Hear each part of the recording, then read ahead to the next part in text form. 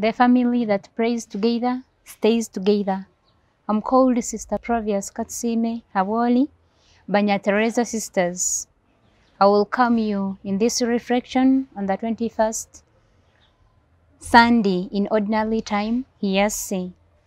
Our theme is Lord, you know all about me. We get this from Psalm 139. The first reading is coming from the book of Prophet Isaiah, chapter 66, verse 18 to 21. Lord knows us through and through in all our works, thoughts, sicknesses, weaknesses, the bad times we undergo, and everything.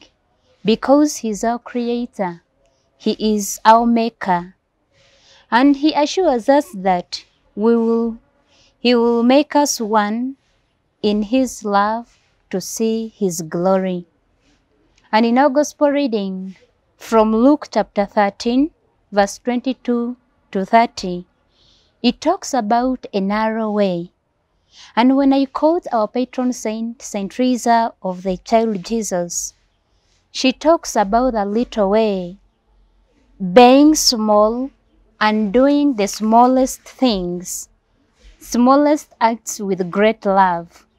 That is doing ordinary things in an extraordinary way, bringing God in our small way, in our smallest ones, seeing Jesus in every small, small things we do, saying, Jesus, I do this for you.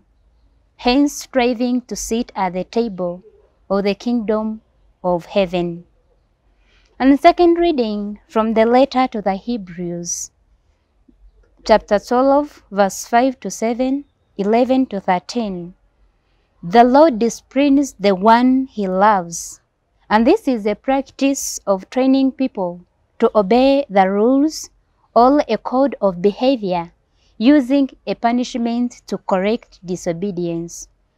We pray for a listening ear and a willing spirit in walking in God's right ways. The family that prays together stays together.